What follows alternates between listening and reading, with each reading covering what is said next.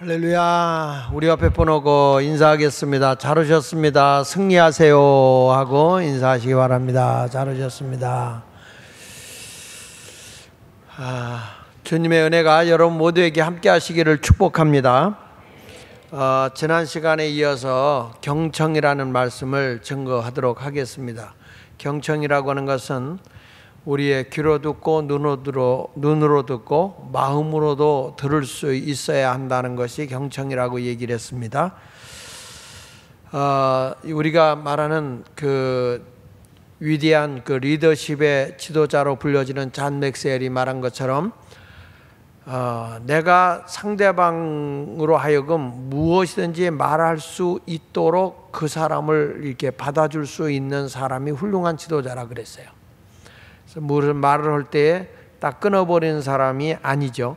그러니까 무슨 말이든 들을 수 있는 준비된 마음을 가지고 있는 사람이 지도자다. 경청을 잘하는 자가 지도자다. 이렇게 말씀을 하고 있는 것이죠. 그 옛말에 말한 것처럼 어른들의 말을 잘 들으면 자다가도 떡을 얻어 먹을 수 있다라는 말이 있지 않습니까? 근데 이 중국에 굉장히 그 거부가 있었는데 그 거부가 이런 고백을 한 적이 있어요. 그 내용에 보면 이런 겁니다. 그 초등학생이 아들이 10살인데 아버지한테 용돈을 달라고 한 주의 용돈 지금으로 말하면 그 돈의 화폐 가치가 약 한 1만 원 정도 그래서 1만 원 정도 되는 화폐 가치를 준 달라고 그랬는데 그 아이에게 2만 원 정도를 준 거예요. 2만 원. 2만 원을 줬는데 이 아이가 신이 났죠. 자, 그리고 한 주가 지났어요. 한 주가 지났는데 아버지가 10살짜리 아들한테 물었습니다. 야, 너 그 용돈 준거 어, 얼마나 남았니? 라고 물어봤더니 얘가 대답을 못하고 고개를 숙이는 거예요. 왜냐하면 아버지가 또 줄 거라고 생각하고 그냥 있는 대로 막 쓴 거예요. 그래가지고 이제 고개를 떨구고 있으니까 아 돈을 얘가 다 썼구나. 그걸 아버지가 알고 이 아이를 데리고 어디로 갔냐면 산 높은데 낭떨어지는 데로 가서 거기에 나무 하나가 큰 나무가 하나 이렇게 매달려 이렇게 뻗어 있는 거예요. 거기다가 아버지가 어, 여기다 매달려라. 그 얘가 매달리는데 그 손을 놓치면 떨어지면 죽는 거예요. 거기다가 이 아이를 매달려라. 그럼 매달리게 해놓은 거예요. 그래 놓고 나서는 한 손을 놔라. 아버지가 워낙 무서우니까 한 손을 놓고 오른손을 여러분 있는 힘을 다해서 붙들고 있는 거예요. 아버지가 또 하는 말이 그 한 손도 놔라 그런 거예요. 그러니까 얘가 막 눈물을 흘리면서 아빠 잘못했다고 아버지 잘못했다고 그때 아버지가 그 아이에 딱 내려놓고 하는 얘기가 내가 이 다음에 부자가 되려고 하면 내 손에 들어온 돈을 내가 나뭇가지를 붙잡는 그런 마음을 가지고 꽉 잡고 놓지 않아야 된다. 그냥 있는 대로 해프게 막 쓰면 절대로 너는 부자가 될 수 없어. 네가 크게 돕고 남에게 선한 일을 하고 살려고 할 것 같으면 부자가 돼야 되는데 부자는 쓰고 싶은 대로 다 쓰고 되는 게 아니라 꽉 붙잡아야만 부자가 될 수 있는 것이다. 그 아버지의 가르침을 이 아들이 아주 귀담아 들은 거죠. 쉽게 말하면 경청을 한 거죠. 그래서 그 말씀대로 살아서 자기가 이 억만장자가 됐다. 이제 그런 얘기예요. 여러분, 이렇게 말을 잘 들어서 그 말을 경청을 해서 내 삶 속에 적용한다고 하는 것은 인생이 무가치한 삶을 살지 않는다는 거예요. 상당히 의미 있고 가치 있는 인생을 성공적으로 살아갈 수 있다는 거예요. 그러나 그 경청을 제대로 하지 않고 내 생각과 내 논리대로 생활하게 되면 결국에 실패하게 되죠. 이 솔로몬이라고 하는 사람이 1천번제를 드립니다. 하나님 앞에 그 제물을 1천 개를 놓고 하나님 앞에 최선을 다해서 예배를 드린 거예요. 근데 꿈에 하나님이 그 솔로몬에게 나타나서 이렇게 하는 거죠. 내가 너에게 무엇 해주길 원하는지 너는 내게 구하라. 이렇게 음성이 들리는 겁니다. 내가 내게 무엇을 주었으면 좋겠냐? 좀 너 내게 구하라. 하나님이 이렇게 말하는 거예요. 그러니까 이 솔로몬이 뭐라고 말하냐면 구절에서 이렇게 말합니다. 누가 주의 이 많은 백성을 재판할 수 있겠습니까? 이스라엘 백성을 내가 어린 나이에 왕이 됐는데 내가 이 백성들을 어떻게 재판할 수 있겠습니까? 그러니까 듣는 마음을 종에게 주사 따라 합시다. 듣는 마음을 종에게 주사. 이 듣는 마음이라는 것은 귀로 눈으로 듣는 것도 중요하지만 저 상대방이 말하는 그 말을 내 마음과 저 마음이 교통할 수 있게 해달라는 거예요. 저의 마음에 담은 것이 내게 들리게 해달라는 거예요. 그래서 듣는 마음을 종에게 주사 주의 백성을 재판하여 선악을 분별하게 하소서 억울한 사람이 하나도 없는 재판을 할 수 있도록 하나님 저 마음이 진실된 마음인지 거짓된 마음인지 자기의 죄를 감추기 위해서 사기치는 것인지 아니면 진실로 하는 말인지 이것을 알게 해 주십시오 라고 얘기를 한 거예요. 저는 이 듣는 마음을 종에게 달라라고 하는 게 경청이다. 경청. 솔로몬이 지혜를 달라고 그랬잖아요. 그 지혜가 뭐냐? 사람들의 마음 속에서부터 우러나오는 말을 들을 수 있는 그 지혜를 달라는 거예요. 그게 경청이지 않습니까? 지난 시간에 제가 얘기했잖아요. 우리가 말을 잘 들으려고 하면 누가 옳으냐 그게 아니라 무엇이 옳으냐. 항상 우리가 할 때 내가 가까운 사람하고 얘기하다 보면 편협할 수 있어요. 누가 옳으냐? 저 사람은 나하고 가까운 사람이니까 저 사람의 말을 들어야지. 이 사람은 나하고 마음이 멀으니까 저 사람은 좀 어, 나고 하지 말아야지. 이렇게 생각할 수 있을 거예요. 그런데 누가 옳으냐로 하면 치우쳐서 잘못돼요. 그런데 무엇이 옳은 것이냐? 이게 중요하다는 거예요. 어저께 제가 여기를 이 시장 통로로 오는데 누가 이제 선거를 유세하면서 악수로 가더라고. 그 악수로 오면서 가는데 딱 얼굴을 보니까 조희연 교육감이야. 현 조, 조희연 교육감이 여기 인사하고 지나가는 거예요. 아, 그러니까 내 속에서 성령도 안 받았는데 불이 일어나더라고요. 우리 학교를 엉망으로 만들어 놓고 말이죠. 아, 그래서 아, 됐다. 그래서 차를 운전하고 가시는 분한테 차 좀 세우라고. 그래서 세워놓고 내가 뛰어내려갔어요. 뛰어내려가서 조현이를 만났어요. 어, 내가 서울 실용음악고등학교 설립자 장학일 목사입니다. 우리 학교가 비리온상이라고 했고 당신의 페이스북에다가 우리 그 어, 학교를 당신이 확 증도 안 줘놓고 폐교한다고 글을 올려놓은 그거 맞죠?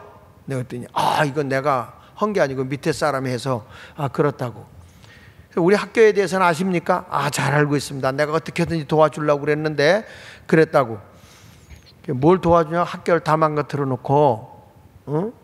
당신이 교육감이라고 한다면 이 학교를 하나 세우려고 하면 반듯하게 가기 위해서 얼마나 수고하고 애쓰는지 그런 것도 확인해 보지도 않고 무조건 학교를 통째로 뺏어버리려고, 어? 법인도 아닌데 관선교상을 내려보내고 니들끼리 우리는 다 빠지고 법인을 만들어서 운영하겠다고 하고 학교는 엉망 음악 학교도 안 되고 월급도 니들이 준다고 해놓고 나서는 학교 돈 다 빼가고 이런 짓거리를 한 거긴 더군다나 지금 이 교육이라는 게 페미니즘에서 이제 성평등이라고 하는 걸 주장해 가지고 동성애를 주장하지 않습니까? 여러분 우리 이번에 교육감 잘 뽑아야 돼요, 여러분. 교육감 진짜 잘 뽑아야 돼. 우리 아이들 다 병들고요. 교육을 제대로 못 시키게 하는 이런 시대가 된 거예요. 생명 걸고라도 이번엔 교육감 바꿔야 돼요.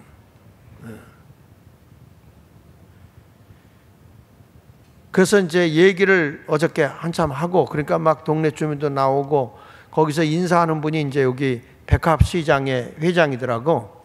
그래서 그 친구가 얘기하면서 여기 목사님이신데 이 지역에서 많은 영향을 미치고 있는 목사님입니다. 그러니까 또 행동이 조금 좀 달라지대. 제가 얘기를 했어요. 마지막에 가서 되더라도 학교를 반듯하게 살려놓으라고. 음.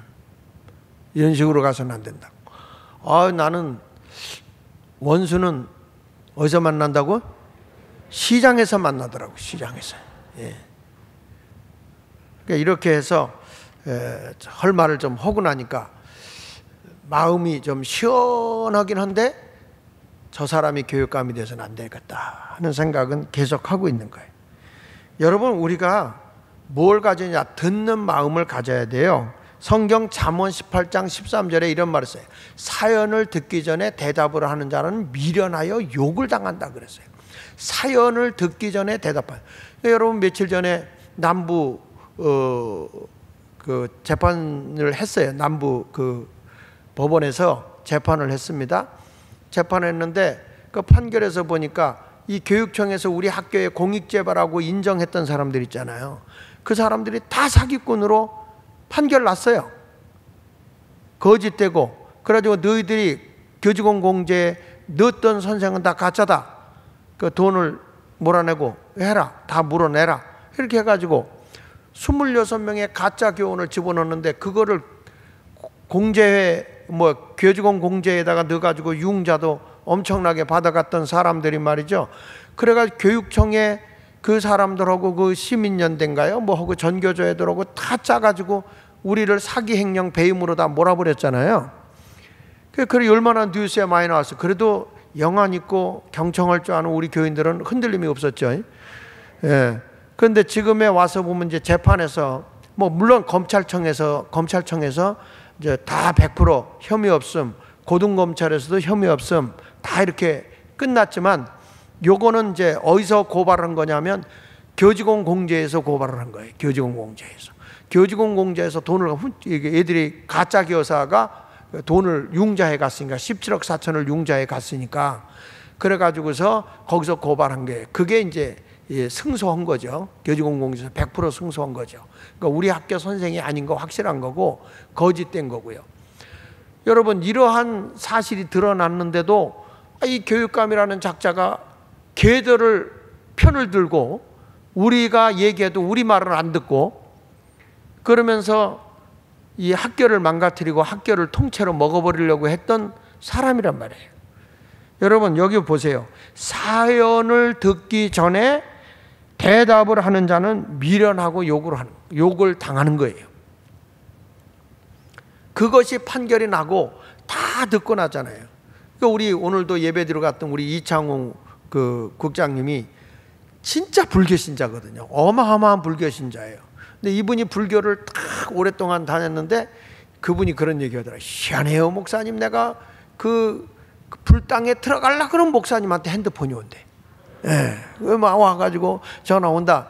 근데 이분이 다 거기서 조사하면서 보니까 뭐 우리가 뭐 비리나 돈한푼뭐 이런 게 이루어진 게 하나도 없잖아요. 그러니까 이분이 결국에는 우리 교회 지금 등록하고 나오잖아요. 우리 최병일 권사님이 잘 소개를 해주셔가지고 그래서 오늘 식사 당번인데 식사 당번 하고 가지 그랬더니 아 목사님 아직까지 그 단계는 아니에요. 그리고 가더라고. 음. 예. 근데 이걸 보면서 여러분 우리가 하나님의 뜻대로 생활할 때 잘 이게 경청할 수 있는 사람의 마음을 읽어낸다는 게 얼마나 중요한가 보세요. 그 열왕기 상 3장 16절 이하 28절에 보면 거기에 이제 기생에 대한 얘기가 나와요. 두 기생이 한 집에서 한 방에서 이렇게 자고 있는데 아이를 둘이 동시에 낳았단 말이에요. 아이를 동시에 낳는데 한 여자가 술을 먹었는지 잠버릇이 고약한지 아이를 깔아서 죽였다고요. 그 눈 뜨고 보니까 자기 애가 죽은 거야. 근데 옆에 있는 사, 친구 사람은 아기를 똑같이 낳는데 잠을 콜콜 자고 있고 아기는 살아 있는 거예요. 그때 얼른 바꿔치기 한 겁니다. 요즘처럼 뭐 CCTV 있는 것도 아니고 DNA 조사할 수 있는 시대도 아니니까 내 아기다 그런 거예요. 그 이 여자가 자서 일어나서 보니까 젖을 먹이려고 보다 보니 이 아이가 죽어 있는 거야. 그래서 깜짝 놀라서 우리 애가 왜 죽었어 하고 보니까 내 아이가 아닌 거야. 근데 옆에 있는 여자가 자기 아이를 받고 가지고 있, 데리고 있는 거예요. 아, 그내 얘기라고 이게 네 얘기 아니야. 무슨 소리냐? 이게 우리 얘기다. 서로 싸움이 붙은 거예요. 그래서 결국에 솔로몬 앞에 갑니다. 솔로몬 앞에 가서 서로가 자기 얘기다, 자기 얘기다 하니까 이때 뭐가 필요한 거예요? 경청하는 마음이에요. 경청하는 마음. 마음을 읽어내야 된단 말이에요. 그때 솔로몬이 저들의 서로 주장하는 얘기를 귀담아 딱 듣고 나더니 뭐라고 말하는 거니 저 사나기를 일로 데리고 와라. 그리고 저 위에 널판지 위에 아이를 높여놔라. 눕혀라. 그리고 여봐라. 예, 큰 칼을 가지고 와라.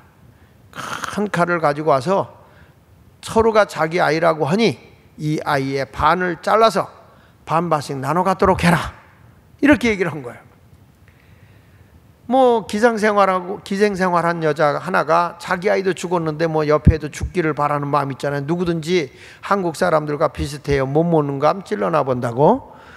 그러니까 뭐 그냥 그 아이를 죽이는 거에 대해서 반대를 하지 않아요. 이 여인은. 그런데 진짜 엄마는 펄펄 뛰면서 아닙니다. 제 애는 내 아이가 아닙니다.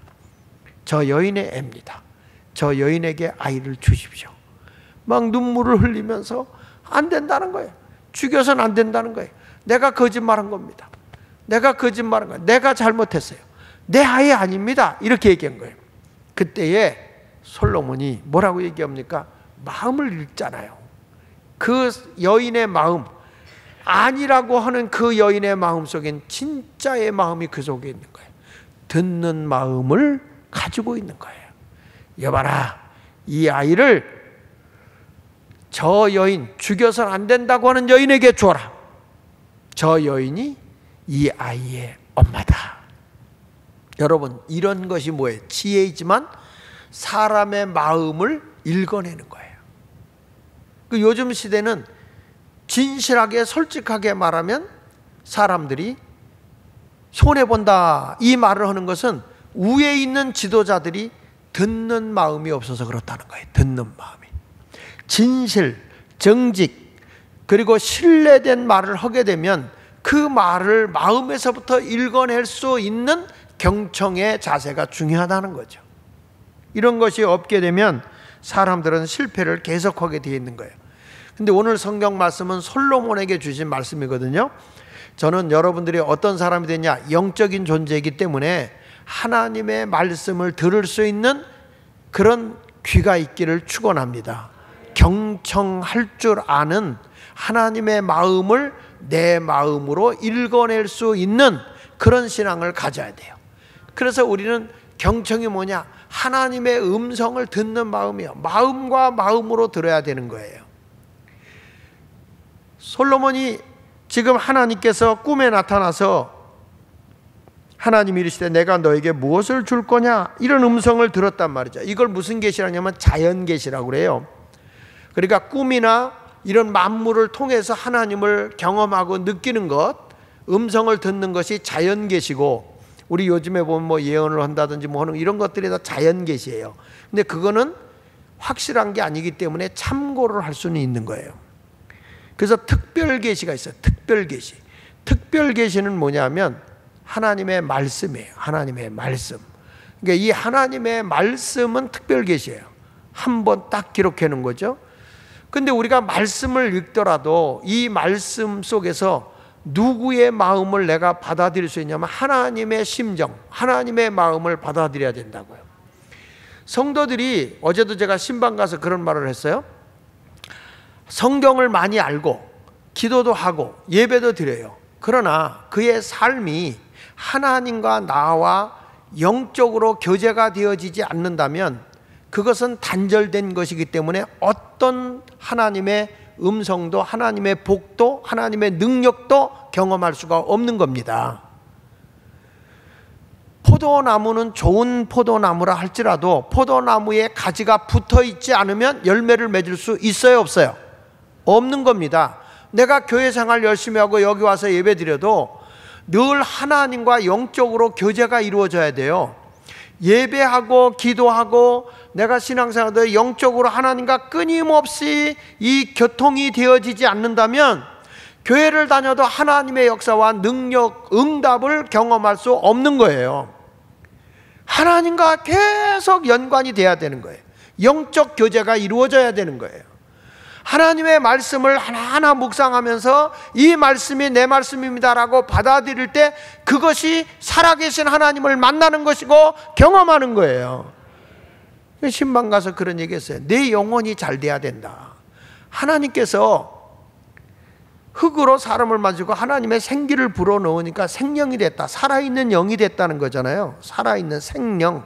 그러니까 하나님과 끊임없이 내가 하나님의 영이 내 속에 들어와서 교제가 이루어져야 되잖아요. 아무리 많이 알면 뭐합니까?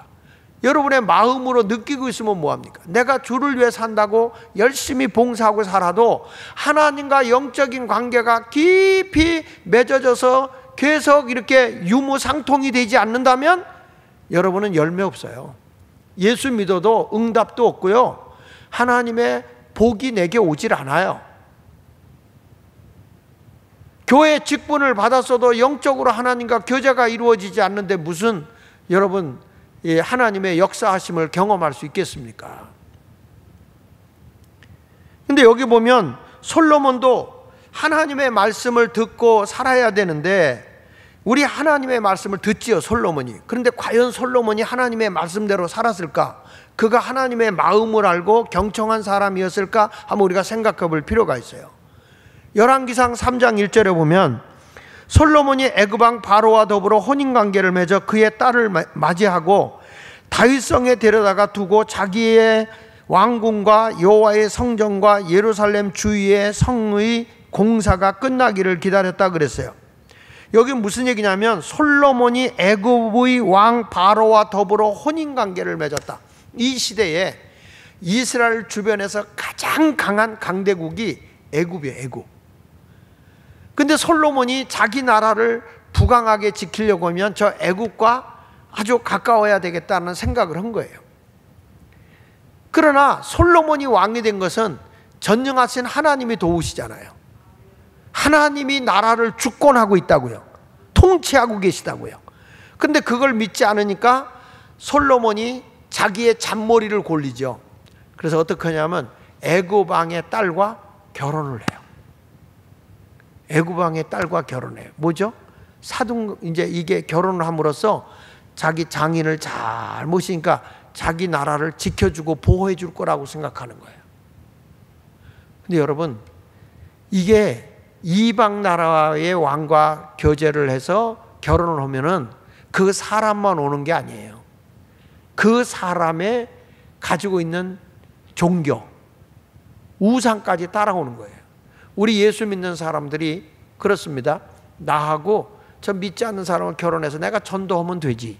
물론 전도해서 좋은 신앙 가지면 좋죠. 그런데 여러분 신앙의 가정하고 불신앙의 가정하고 결혼하잖아요. 근데 그 사랑과 사랑끼리만 관계가 되어지는 게 아니다 보니까 그 집안의 그, 그 어떤 뭐라 그럴까요? 그 전통적인 어떤 것들도 같이 갖고 들어온다고요. 제사라든지 또 뭐 그 습관, 그 잘못된 습관들 이런 것들을 그냥 들어오잖아요. 크리스찬들이 가지고 있는 문화와 세상의 문화가 같이 섞여 버리다 보니까 싸우다 보니까 예수 믿는 사람은 아무리 싸워도 막말은 안 하거든. 근데 거기서는 막말도 나오게 되고 때로는 거친 행동도 하게 되고 이런 것들이 나온단 말이죠. 이 이유 이것은 무엇을 의미하냐면 그 사람만 오는 게 아니라 그 사람의 문화, 그 사람의 종교까지도 들어오는 거예요. 그러니까 애굽이라는 나라가 이게 우상의 아주 그 아지트거든요. 이 우상이 거기까지 오는 거죠. 하나님은 그거 싫은 거예요.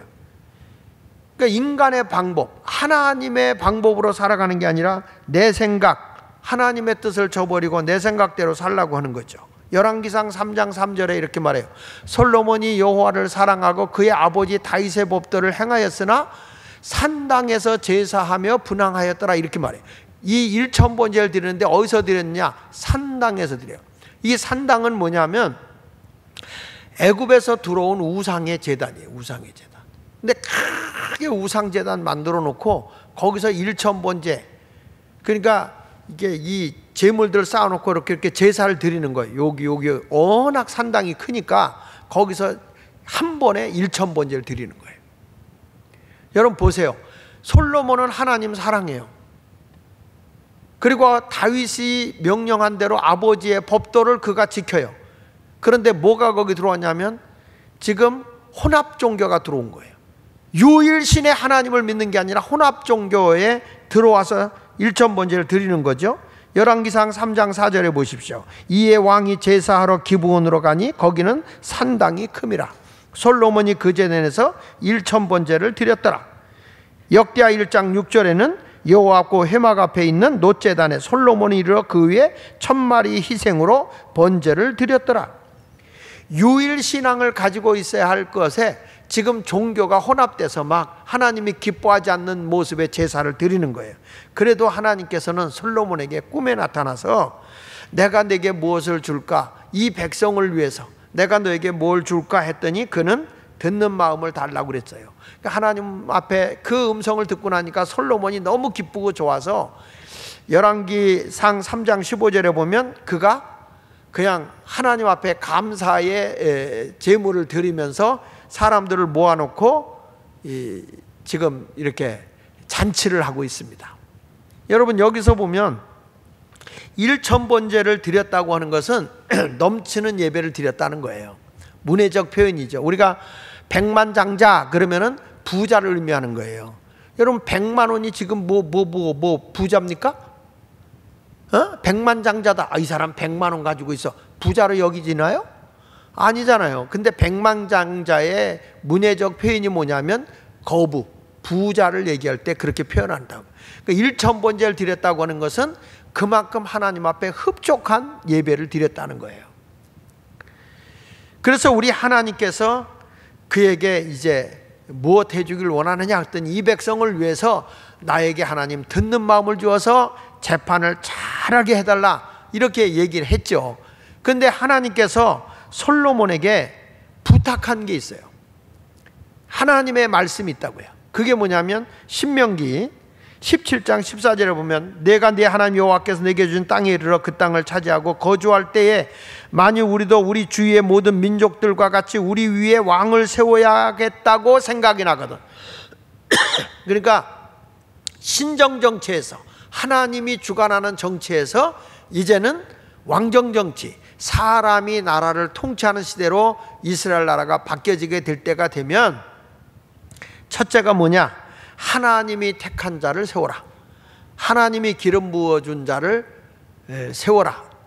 그 다음에 뭐라고 그랬냐면 내 위에 왕을 세우려면 내 형제 중에서 한 사람으로 해라. 그러니까 이방인이나 다른 나라 사람을 왕으로 세우지 말고 내 형제 중에 한 사람을 왕으로 세워야 된다.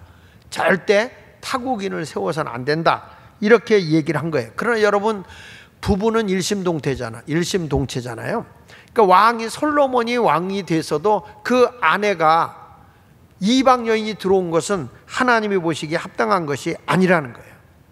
그리고 솔로몬에게 하나님이 세 가지를 하지 말라고 그럽니다. 세 가지. 너 세 가지. 이거는 안 돼. 이거는 하지 마. 그렇게 말했어요. 그러면 경청을 잘하는 사람이라면 하나님의 말씀을 들어야 되거든요. 보실까요?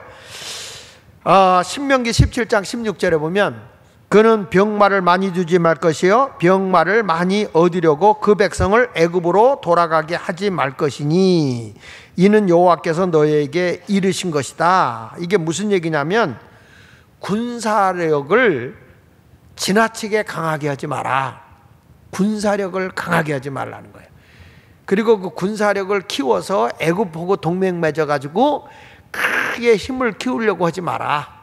하나님은 그거 왜냐하면 군사력이 강하다고 하는 것은 싸움으로 하겠다는 거기 때문에 하나님께서는 평화의 나라를 원한단 말이에요. 그러니까 뭐라고 얘기하냐면 군사력을 강하게 하지 마라 이렇게 말합니다. 그 다음에 뭐라고 말하냐면 17절에 그에게 아내를 많이 두어 그의 마음이 미혹되지 않게 미혹되지 되게 하지 마라. 무슨 얘기냐면 아내는 그냥 하나만 둬. 아내를 많이 두지 말라 그 말이야. 하나님의 명령입니다. 첫째는 군사력을 강하게 하지 마라. 두 번째는 아내를 많이 두지 마라. 그 다음에 세 번째는 뭐냐면 너 개인을 위해서 부를 지나치게 축적하지 마라. 예, 돈을 많이 갖지 마라. 여기 보십시오. 17절 끝에, 끝에 자기를 위하여 그랬어요. 너를 위하여 은금을 많이 쌓아두지 마라. 솔로몬에게 하나님이 세 가지를 딱 했어요. 나라의 평화를 위해서 지나치게 내가 군사력을 강하게 하지 마라. 두 번째 가서는 너희 아내를 일부 일처 일로 가라. 세 번째 가서는 뭐라고 그랬어요? 지나치게 너를 위해서 부를 갖지 마라. 그렇게 하나님의 말씀을 들었으면 우리 예수마을교회 교인들 같으면 다 면했을 거예요. 그렇죠? 근데 솔로몬이 한번 보세요. 하나님의 말씀을 얼마나 그 경청을 했는가 한번 보겠습니다. 역대하 1장 13절에 보면 이렇게 말해 이에 솔로몬이 기부원 산당의 회막 앞에서부터 예루살렘에서 돌아와서 이스라엘을 다스렸어요. 이스라엘 왕이 된 거죠. 근데 그때 보십시오. 솔로몬이 병거와 마병을 모음에 병거가 1400대요 마병이 12,000명이라 병거 성에도 두고 예루살렘 왕에게도 두었으며 여기 보면 군사력을 엄청 강하게 한 거예요. 막강한 군사력. 이게 기마 부대죠. 그러니까 기동성이 굉장히 빠른 그런 이런 병사를 지금 키워낸 거죠. 그러니까 여기 보면 마병이 12,000명이다. 여기 마병이 뭐 1400대다. 기마 부대가 막강하다는 것은 기동성이 엄청 빠르다는 거예요. 그 군사력을 굉장히 강하게 훈련시킨 사람이 솔로몬이죠 하나님은 그렇게 하지 말라고 그랬어요 근데 솔로몬은 자기 생각으로 하는 거예요 자 이게, 이것이 제가 얘기한 대로 아무리 하나님 말씀을 많이 알고 있어도 하나님과 나와 영적 단계가 단절된 사람은 열매가 없다는 거예요 그 다음에 또 뭐라고 했냐면 그 다음 절에 가서 이렇게 말합니다. 왕이 예루살렘에서 은금을 뭐같이 흔하게 했다고요? 은금을 돌같이 흔하게 하고 그러니까 돈이 얼마나 많은지 은금이요 돌덩어리 같이. 이 사람이 쓰는 거예요. 보세요. 백항목을 평지와 뽕나무 같이 많게 하였더라. 이 나무 중에 가장 비싸고 좋은 나무가 백향목 나무예요. 그 쓸모없는 뽕나무 같이 그냥 얼마나 이, 이 돈이 많았는지 백향목을 다른 데서 이렇게 수입해서 오고 쓰는데 이걸 뽕나무 같이 여겼다는 거예요. 어마어마하지요, 이 사람이.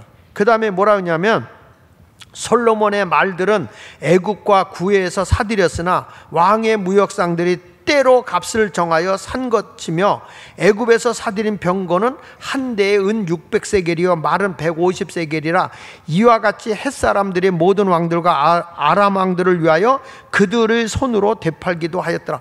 엄청난 비싼 가격에 말들을 사들이는 거예요. 명마라고 그래가지고 이걸 사들이는 거예요. 그러니까 이 솔로몬이라는 사람은 하나님의 말씀을 어기는 거예요. 병사도 많고 개인의 치부하는 돈도 많이 가졌고 거기다 아내는 또 많이 뒀을까 적게 뒀을까요? 보시겠습니다. 왕상 열왕기상 11장 1절에 보면요. 솔로몬 왕이 바로의 딸 외에 바로의 딸 위에 이방의 많은 여인을 사랑했으니 곧 모압, 암몬, 에돔, 시돈, 헷 여인이라. 그러니까 주변에 있는 나라들의 그 왕에 있는 여자들을 그 하나씩은 다 데리고 오는 거예요. 그 이유는 뭐예요? 나라를 우리 전쟁하지 말고 이렇게 관계성 있게 살자. 능력도 좋고 힘도 좋지. 여러분 2절 보십시다. 여호와께서 일찍이 여러 백성에 대하 이스라엘 자손에게 말씀하기를 너희는 그들과 서로 통혼하지 말며 그들도 너희와 서로 통혼하게 하지 말라 그들이 반드시 너희 마음을 돌려 그들의 신들을 따르게 하려 하셨으나 너희가 결혼하는 것보다도 그들이 믿는 신을 가지고 온다. 이방 신을. 그러니까 그들과 하지 말라고 해야 하나님이 명령을 하셨지만은 솔로몬이 그들을 사랑했다. 하나님 말씀을 지켰어요? 안 지켰어요? 안 지켰어요. 보세요. 그 다음 같이 읽어봅시다. 왕은 시작. 후궁이 몇 명? 700명이요. 700명이요. 첩이 몇 명? 300명. 여러분 이런 남자하고 살겠어요? 내가 이렇게 목회를 하면 얼마나 우리 교회가 부흥될까요? 주일 학교 걱정 안 해도 되고. 그의 여인들이 왕의 마음을 돌아서게 하였더라. 하나님의 원리 법칙에서부터 돌아서게 했더라. 이런 생각을 한 거예요. 그러니까 솔로몬이라는 사람은 하나님을 사랑했다 그랬어요. 하나님 앞에 제사도 드리고 예배도 드린 사람이에요 근데 이 사람은 하나님의 말씀으로 영적으로 경청이 전혀 하나님의 마음을 이해하지 않은 사람이란 말이에요. 그 결과가 어떻게 됩니까? 이스라엘 나라가 그의 자손 때에 갈라지는 거예요. 둘로 갈라진 거예요. 그래서 북이스라엘, 여로보암이 사마리아를 수도로 해서 그 나라를 부강 그 나라를 세우고 남이스라엘은 솔로몬의 아들 르호보암이 예루살렘을 수도로 해 가지고 유다 나라라고 하는 그 나라를 세우게 되는 거예요. 나라가 둘로 쫙 갈라지게 된 거란 말이에요. 그 이유가 뭐냐? 하나님의 말씀을 무시했기 때문에 그런 거예요. 그 여기 보십시오. 신명기 17장 18절 이하에 보면 그가 왕위에 오르거든 이 율법서의 등사본을 레이 사람 제사장 앞에서 앞에서 책에 기록하여 평생에 자기 옆에 두어 두고 읽어 그의 하나님 여호와 경외하기를 배우며 이 율법의 모든 말과 이 규례를 지켜 행할 것이라. 하나님께서 레이 사람인 제사장을 옆에 두고 솔로몬이 늘 하나님의 말씀을 묵상하고 하나님의 말씀을 듣고 그 말씀과 교제하는 삶을 살아가도록 하라고 일러 주었는데 그 안 하는 거죠. 제가 아까도 얘기했잖아요. 여러분 하나님의 말씀을 내가 알고 있는 것 같고 안 된다고요. 하나님과 영적 교제가 계속 이루어져야 됩니다. 이루어져야 그것이 열매가 나타나는 것이고 축복을 받는 거예요. 교회를 다닌다고 해서 하나님 응답 주는 게 아니라고요. 예수를 믿는데 왜 가정이 다 복잡하고 힘들고 어려우냐? 하나님과 교제가 안 이루어지고 있는데요.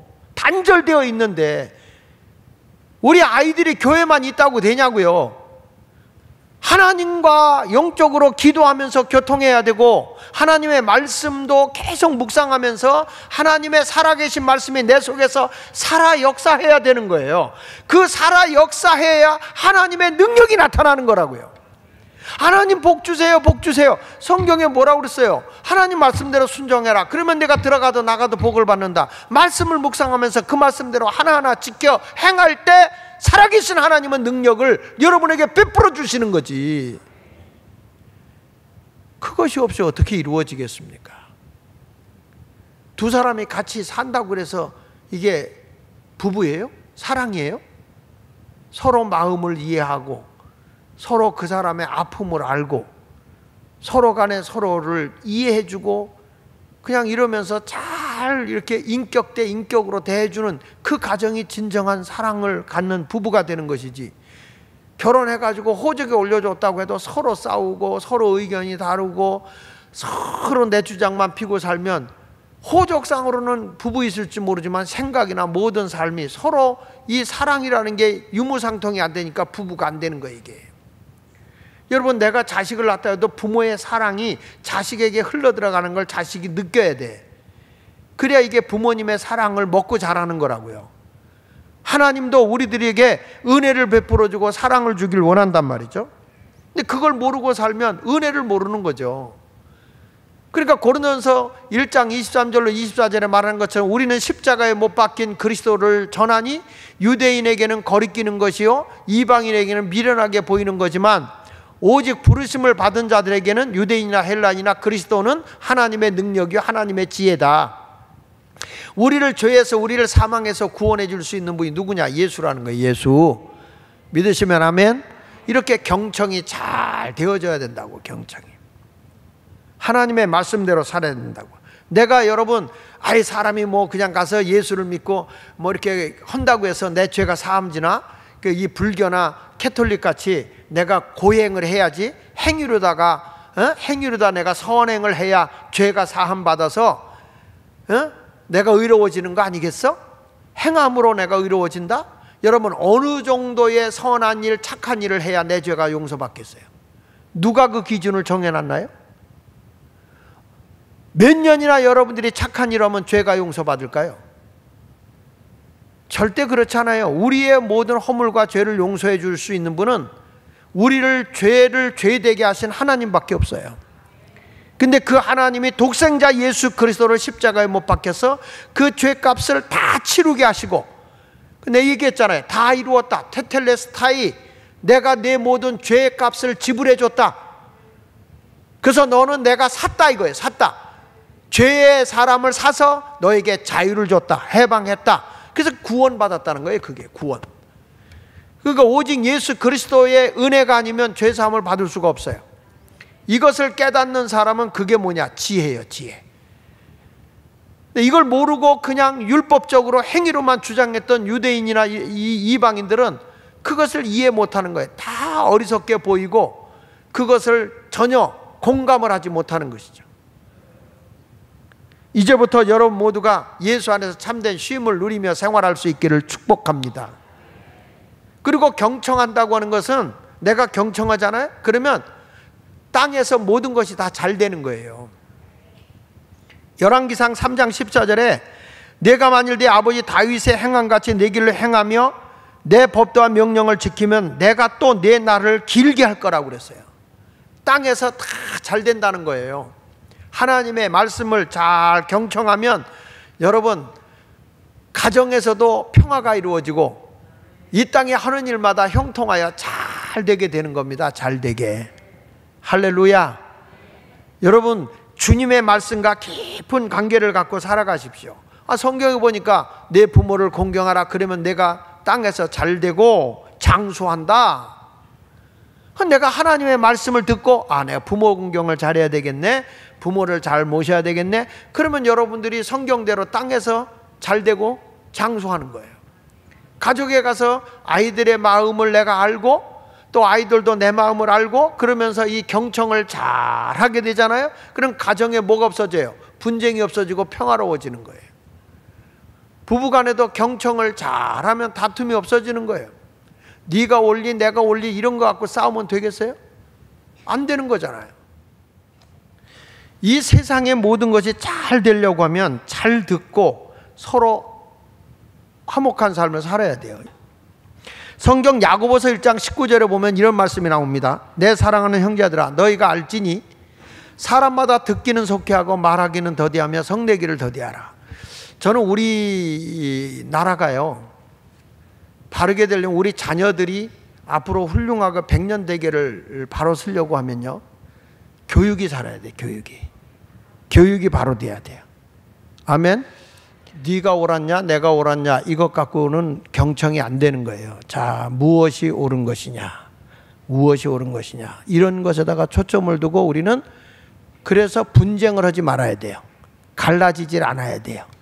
여러분들도 가정에서도 어, 하나님의 말씀을 듣는 우리들이 어떤 자세를 가져야 되냐 무엇이 옳은 것이냐 이것을 냉정하게 보고서 서로 대화를 잘 해나가길 바라면 네가 틀렸어 내가 옳았어 이렇게 하면 절대로 화합이 안 되거든요. 그러니까 우리나라에 에, 여러분 모두가 에, 정말 좋은 일꾼도 뽑혀지고 특별히 우리 자녀들의 좋은 교육은 100년 앞을 내다보는 겁니다. 인재를 키우는 겁니다. 위에서 기도 많이 해주시고 하나님의 은혜 속에 여러분 경청을 잘하는 성도가 되게 해달라고 기도하시기 바랍니다. 할렐루야 기도하겠습니다.